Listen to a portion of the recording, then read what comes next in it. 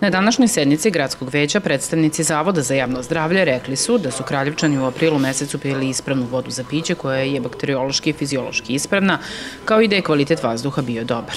Već je donelo mišljenje kojim se Skupštini grada Kraljeva predlože da usvoji predlog odborničke grupe Aleksandar Vučić Kraljevo ne sme da stane, da se u predloženi dnevni red osme sednice Skupštine grada zakazane za sutra uvrsti tačka predlog programa otuđenja građevinskog zemljišta u javnu svojinu grada Kraljeva.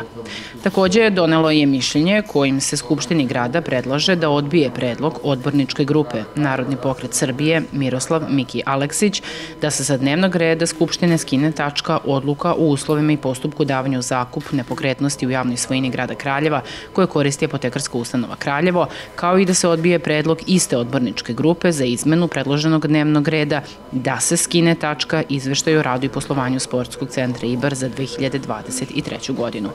Na 18. vanrednoj sednici Gradsko veće je donalo rešenje o korišćenju sredstava tekuće budžetske rezerve u iznosu od 1.430.000 dinara na ime novčane kazne i penala po rešenju sudova za korisnike budžetskih sredstava sportskog Sportski centar Iber Kraljevo.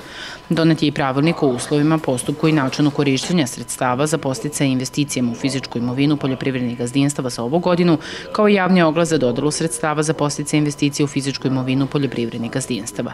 Većnici su zaključkom gradskog veća dali saglasnost na zahtev mesne zajednice Kamenica za utrošak sredstava za nabavku ogreva i izvođenje građevinskih radova.